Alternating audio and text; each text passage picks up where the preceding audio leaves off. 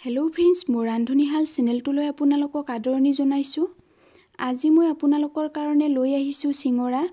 আজি মই এই ভিডিঅ'টোত দেখুৱাম যে কেনেকৈ আপোনালোকে দোকানৰ দৰে ক্ৰিস্পি চিঙৰা ঘৰতে বনাব পাৰিব। ইয়াৰ কাৰণে ভিডিঅ'টো শেষলৈকে চাওক। মই প্ৰথমতে দেখুৱাই লৈছোঁ ইয়াৰ কাৰণে কি কি বস্তুৰ প্ৰয়োজন হ'ব। মই ময়দা সৰু কাপেৰে ডেৰ কাপ লৈছোঁ। কালজিৰা লৈছোঁ সৰু চামুচেৰে আধা চামুচ। ইয়াত আপোনালোকে জনি গুটি নহ'লে গোটা জিৰাও ল'ব পাৰে। নিমখ লাগিব সোৱাদ অনুসৰি। ৰিফাইন তেল ল'ম ডাঙৰ চামুচেৰে দুচামুচ।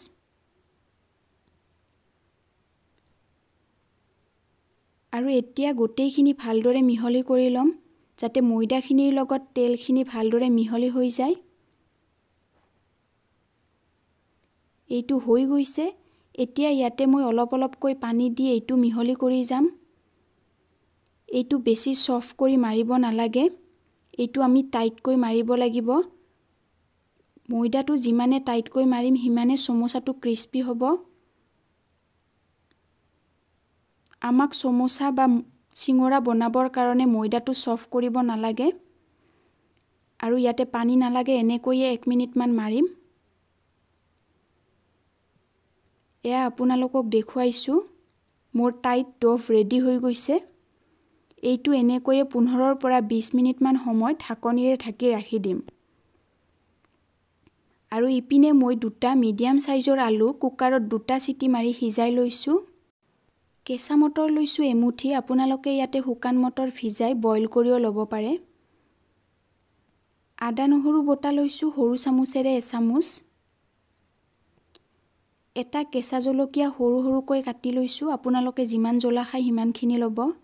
ধনিয়াৰ পাত লৈছোঁ ডাঙৰ চামুচেৰে দুচামুচ গোটা জিৰা লৈছোঁ আধা চামুচ সৰু চামুচেৰে নিমখ সোৱাদ অনুসৰি ল'ব হালধিৰ গুড়ি লৈছোঁ সৰু চামুচেৰে আধা চামুচ গৰম মছলা লৈছোঁ সৰু চামুচেৰে চাৰিভাগৰ এভাগ কাশ্মীৰী ৰেড চিলি পাউডাৰ লৈছোঁ সৰু চামুচেৰে তিনিভাগৰ এভাগ এইটো অপশ্যনেল হয় জিৰা গুড়ি লৈছোঁ সৰু চামুচেৰে আধা চামুচ চাট মছলা লৈছোঁ সৰু চামুচেৰে আধা চামুচ।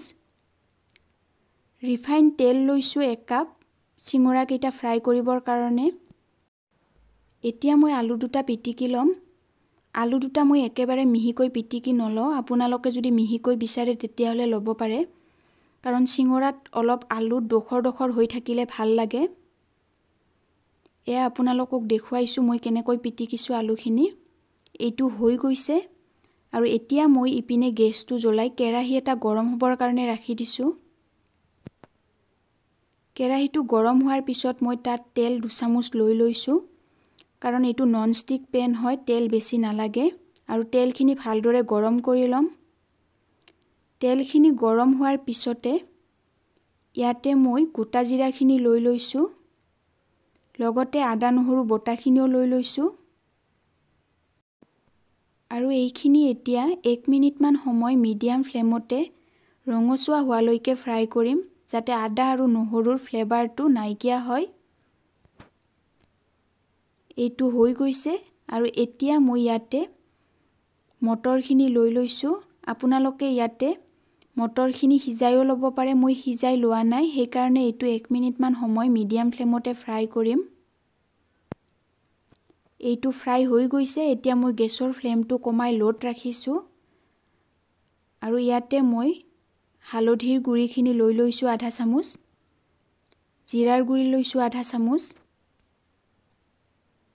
কাশ্মীৰী ৰেড চিলি পাউডাৰ লৈছোঁ তিনিভাগৰ এভাগ এইটো অপশ্যনেল হয়। গৰম মছলা পাউডাৰ লৈছোঁ চাৰিভাগৰ এভাগ সৰু চামুচেৰে। আৰু এইটো ল' ফ্লেমতে মিহলি কৰিম। আৰু ইয়াতে মই কুটি থোৱা জলকীয়াখিনি লৈ লৈছোঁ। এতিয়া ইয়াতে মই পিটিকি থৈ দিয়া আলু গোটেইখিনি লৈ ল'ম। এবাৰ মিহলি কৰি ল'ম।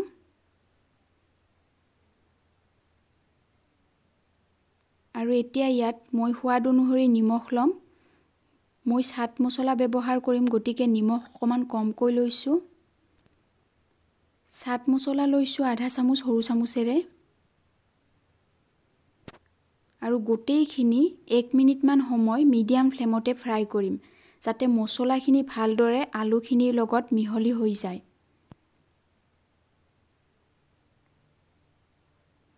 এইটো হৈ গৈছে আৰু এতিয়া ইয়াতে মই ধনিয়াৰ পাতখিনি লৈ ল'ম। ধনিয়াৰ পাতখিনিও ভালদৰে মিহলি কৰি দিম।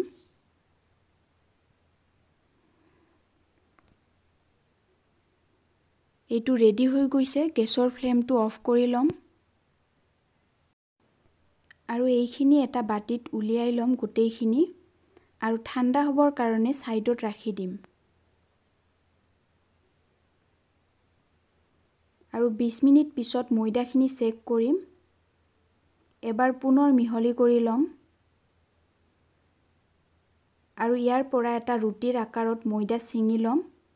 আৰু এইটো ঘূৰণীয়া আকাৰত পকাই ল'ম। আৰু এইটো ৰুটিৰ আকাৰত বেলি ল'ম। আপোনালোকে দৰকাৰ হ'লে ইয়াতে শুকান আটা গুড়ি নহ'লে অলপ ৰিফাইন তেলো লৈ ল'ব পাৰে। মই নোলোৱাকৈয়ে বেলিছোঁ। আৰু ইপিনে কেৰাহী এটা গৰম হ'বৰ কাৰণে ৰাখি দিছোঁ। কেৰাহীটো গৰম হোৱাৰ পিছত তাত মই তেল লৈ ল'ম। তেলখিনিও গৰম হ'বৰ কাৰণে ৰাখি দিম। তেলখিনি বেছি গৰম হ'ব নালাগে। আৰু আমাৰ ইপিনে ৰুটি বেলা হৈ গৈছে। আপোনালোকক চিঙৰাটো যিমান ডাঙৰ লাগে সিমান ডাঙৰকৈ ৰুটিখন বেলি ল'ব। মই ইয়াতে সৰু চাইজৰ চিঙৰা বনাম সেইকাৰণে সৰুকৈ বেলিছোঁ। আৰু এতিয়া ৰুটিখন সমানে দুভাগত ভগাই ল'ম চুৰিৰে কাটি। আৰু তাৰে এটা ভাগ লৈ ল'ম। প্ৰথমতে ভিডিঅ'টোত দেখুওৱাৰ দৰে আপোনালোকে অকণমান পানী লৈ ল'ব এটা ছাইডত।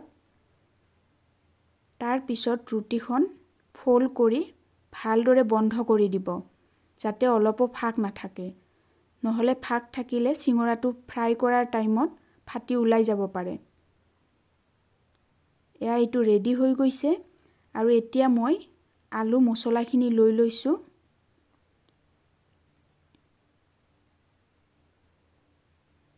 আৰু ভিতৰলৈ অলপ প্ৰেছ কৰি দিব যাতে ভালদৰে সোমাই যায় ভিতৰলৈ।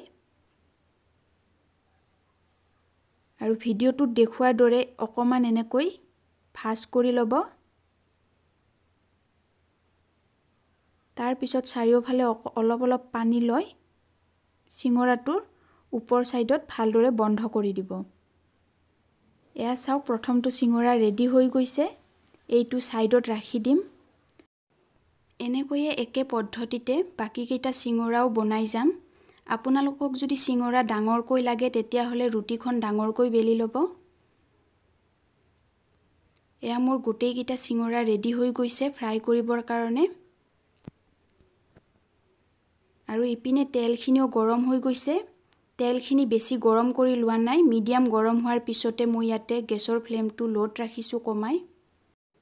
এতিয়া মই এটা এটাকৈ চিঙৰা তেলত দি যাম। মই ইয়াতে চিঙৰাকেইটা সৰুকৈ বনাইছোঁ কাৰণে এবাৰতে চাৰিটাকৈ লৈছোঁ। আৰু এইটো এতিয়া ছয়ৰ পৰা সাত মিনিটমান সময় ল' মিডিয়াম ফ্লেমতে ফ্ৰাই কৰিম। জুইটো বেছিকৈ নিদিব নহ'লে চিঙৰাকেইটা ফুলি বাহিৰত বাবুল উঠিব পাৰে। চিঙৰাকেইটা টাইট হোৱালৈকে এইটো ল' মিডিয়াম ফ্লেমতে ফ্ৰাই কৰিব। আৰু মাজে মাজে ওলোটাই থাকিব যাতে চাৰিও ছাইডৰ পৰা ভালদৰে সিজি উঠে। ছয় সাত মিনিট পিছত চেক কৰিম চিঙৰাকেইটা বাহিৰৰ ফালৰ পৰা টাইট হৈ গৈছে আৰু এতিয়া মই ইয়াতে গেছৰ ফ্লেমটো বঢ়াই মিডিয়ামত ৰাখিম। আৰু এইটো মিডিয়াম ফ্লেমতে ক্ৰিস্পি আৰু গল্ডেন কালাৰ অহালৈকে ফ্ৰাই কৰিম। এইটো ওলোটাই থাকিব চাৰিও ছাইডৰ পৰা ৰঙচুৱা হোৱালৈকে ফ্ৰাই কৰিম। এয়া দেখুৱাইছোঁ আপোনালোকক। এইটো ক্ৰিস্পিও হৈ গৈছে আৰু চাৰিওফালৰ পৰা ৰঙচুৱাও হৈছে। চিঙৰাকেইটা হৈ গৈছে গতিকে মই এখন প্লেটত টিচু পেপাৰ লৈ লৈছোঁ আৰু তাৰ ওপৰত চিঙৰাকেইটা লৈ লৈছোঁ যাতে এক্সট্ৰা তেল থাকিলে শুহি লয়। এয়া আপোনালোকৰ সন্মুখত দোকানৰ দৰে ক্ৰিস্পি চিঙৰা ৰেডি হৈ গৈছে। এইটো আপোনালোকে গৰম গৰম পৰিৱেশন কৰিব পাৰিব।